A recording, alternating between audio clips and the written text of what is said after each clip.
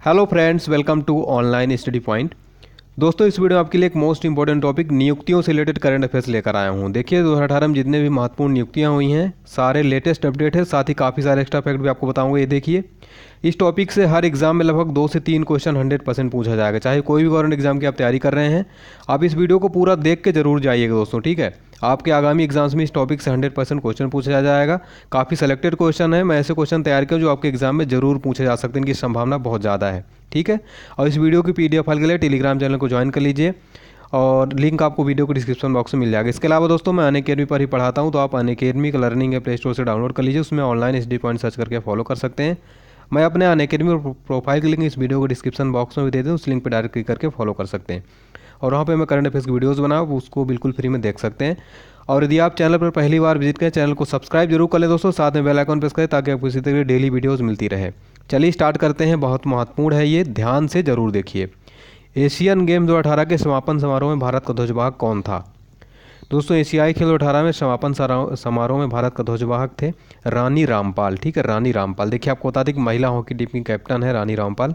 अठारहवें एशियाई खेलों के समापन समारोह के लिए भारतीय दल का ध्वजवाहक इन्हें चुना गया था, ठीक है? यही थी। तो ये बहुत महत्वपूर्ण है ज़रूर पूछा जाएगा। और ये अठारहवा एशियन गेम्स कहाँ पे हुआ है?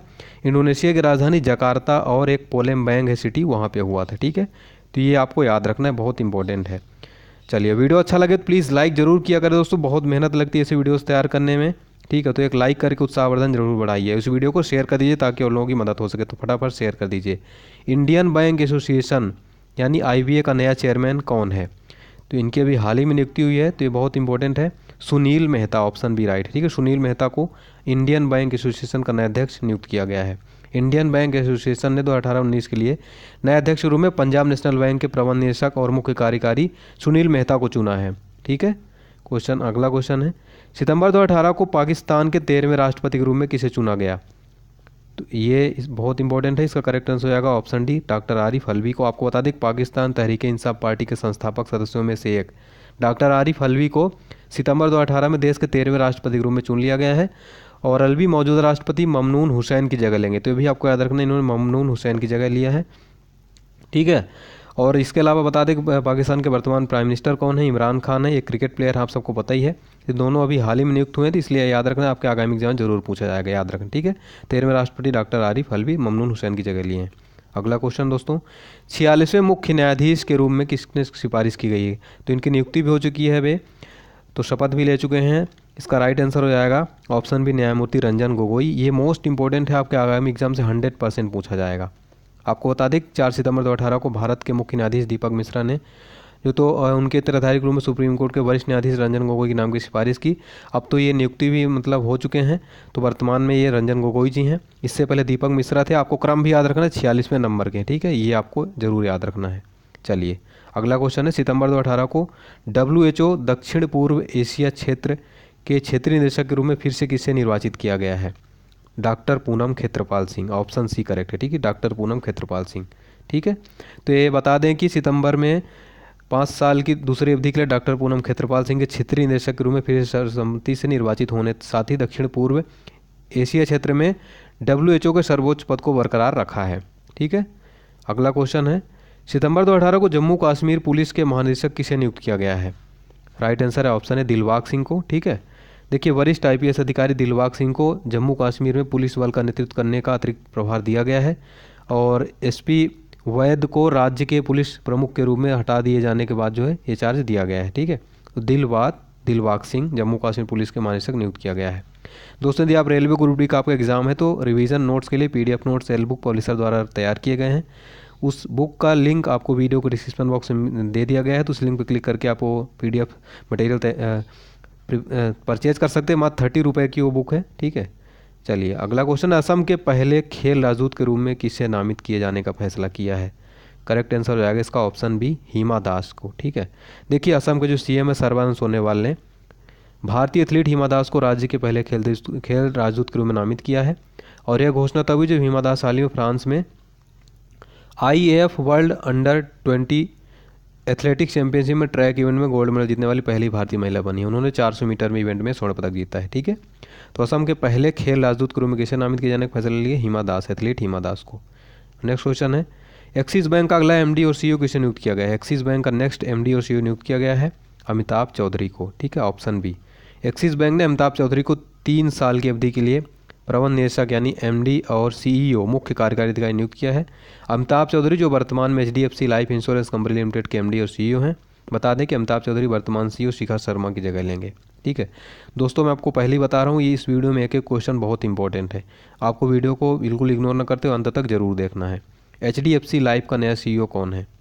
तो ये बन गए हैं विभा पाडलकर। ठीक है? Option D H D F C का फुल फॉर्म क्या है? Housing development finance corporation life insurance ने विभा पडलकर को कंपनी का नया सीईओ बनाया है। इससे पहले अमिताभ चौधरी कंपनी के सीईओ थे। सीईओ चौधरी अब एक्सिस बैंक के सीईओ का पद संभालेंगे। विभा को तीन साल के लिए कंपनी का एमडी और सीईओ बनाया गया है। ठीक है? क्वेश्चन अगला है, वर्तमान सार्वय राष्ट्रपति का नाम क्या है? वर्तमान सार्वय राष्ट्रपति का नाम है अलेक्जेंडर वूसिस, ऑप्शन डी। ठीक है? चलिए, अगला क्वेश्चन देख लेते हैं। परमाणु ऊर्जा आयोग के नए अध्यक्ष कौन है? Very very important question hundred percent संभावना इसकी पूछे जाने की हर एग्ज़ाम में। के एन व्यास यानी कमलेश नीलकांत व्यास देखिए, प्रसिद्ध वैज्ञानिक कमलेश नीलकांत व्यास परमाणु ऊर्जा विभाग और परमाणु ऊर्जा आयोग के अध्यक्ष रूप में चुने गए हैं। व्यास जो कि वर्तमान में बार्क, यानी भाभा परमाणु अनुसंधान के निदेशक हैं, इन्हें शेखर बसु के स्थान पर नियुक्त किया गया है। ठीक है, शेखर बसु के स्थान पर।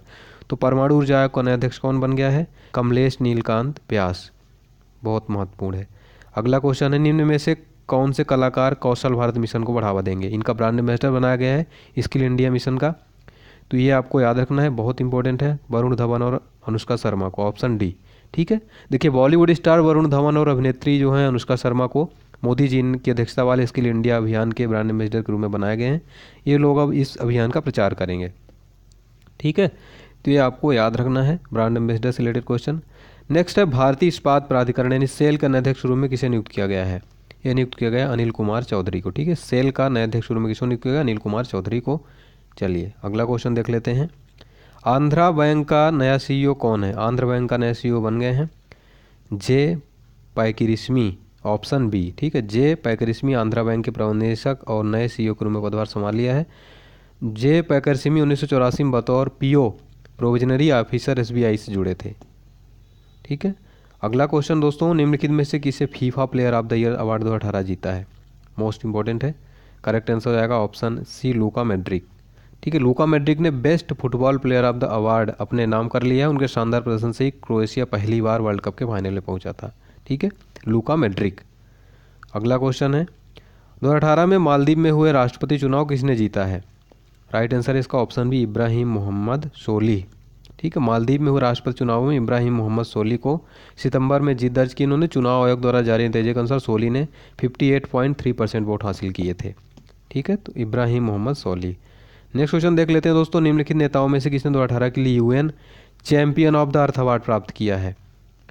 ये नरेंद्र मोदी जी को मिला है। आपको बता दें पीएम मोदी जी को अंतर्राष्ट्रीय सौर गठबंधन के नेतृत्व और 2022 तक भारत को एकल इस्तेमाल वाले प्लास्टिक से मुक्त कराने को लेकर champions of the earth award से सम्मानित किया गया है। ठीक है? अगला क्वेश्चन देख लेते हैं। सीमा सुरक्षा बल यानी बीएसएफ बॉर्डर सिक्योरिटी फोर्स जिसको इंग्लिश में कहते हैं, कि नए महानिदेशक के रूप में किसे नियुक्त किया गया है? यानी बीएसएफ के नए महानिदेशक के रूप में किसे नियुक्त किया गया है? रजनीकांत मिश्रा को, यानी ऑप्शन ए राइट है। ठीक है? रजनीकांत मिश्रा को। देखिए, आपको बता दें कि यूपी, उत्तर प्रदेश, कैडर के आईपीएस ऑफिसर हैं रजनीकांत मिश्रा केंद्र सरकार में। सीमा सुरक्षा बल का प्रमुख नियुक्त किया गया है और उन्नीस सौ चौरासी बैच के आईपीएस रजनीकांत फ़िलहाल सशस्त्र सीमा बल में डीजी के पद पर तैनात थे। ठीक है? अगला क्वेश्चन है, निम्नलिखित खिलाड़ियों में से किसे ट्राइब्स इंडिया के ब्रांड एम्बेसडर में नियुक्त किया गया है? राइट आंसर है ऑप्शन सी, मैरी कॉम। देखिए, पाँच बार की विश्व चैंपियन और मुक्केबाज एम सी मैरी कॉम को सितंबर में ट्राइब्स इंडिया का ब्रांड एम्बेसडर बनाया गया है और जनजातीय मामलों के मंत्रालय की पहले बता दें, मैरी काम पाँच बार की विश्व मुक्केबाजी प्रतियोगिता की विजेता रह चुकी हैं। ठीक है? तो बहुत इंपॉर्टेंट है, ये आपको याद रखना है। प्रेस ट्रस्ट ऑफ़ इंडिया यानी पीटीआई के नए अध्यक्ष रूप में किसे चुना गया है? एन रवि को, ठीक है? एन रवि देखिए, आपको बता दें पीटीआई यानी प्रेस ट्रस्ट ऑफ़ इंडिया के नए चेयरमैन के रूप में एन रवि को चुना गया है, ठीक है? ठीक है दोस्तों तो ये थे मोस्ट इंपॉर्टेंट अपॉइंटमेंट से रिलेटेड क्वेश्चन आई होप आपके एग्ज़ाम में ज़रूर हेल्पफुल होगी. वीडियो अच्छी लगे तो लाइक करें. वीडियो कैसा लगा कमेंट करके ज़रूर बताएँ. आपका फीडबैक का हमें इंतज़ार रहेगा. ठीक है? और दोस्तों, किस टॉपिक पे आपको और नेक्स्ट वीडियो चाहिए, आप हमें कमेंट बॉक्स में ज़रूर लिखें. आपके लिए वीडियो ज़रूर बनाऊँगा. आपके आगामी एग्ज़ाम के लिए ऑल द बेस्ट चैनल को सब्सक्राइब कर लें पहली बार विज़िट करें. साथ ही इस वीडियो को शेयर ज़रूर कर दें. साथ ही साथ आप हमारे टेलीग्राम चैनल को ज़रूर ज्वाइन कर लें. पीडीएफ इस पीडीएफ के लिए. लिंक आपको वीडियो को डिस्क्रिप्शन बॉक्स में मिल जाएगा. ठीक है दोस्तों? और आप हमें इंस्टाग्राम पे फॉलो कर लें online S D point search करें अपने इंस्टाग्राम से। वहाँ पे मैं डेली कुछ पोस्ट करता हूँ, साथ ही फेसबुक पेज को लाइक कर लें, वहाँ पे भी मैं नोट शेयर करता रहता हूँ, ठीक है? तो दोस्तों, मिलते हैं नेक्स्ट वीडियो के साथ। आपका दिन शुभ हो। जय हिंद, जय भारत।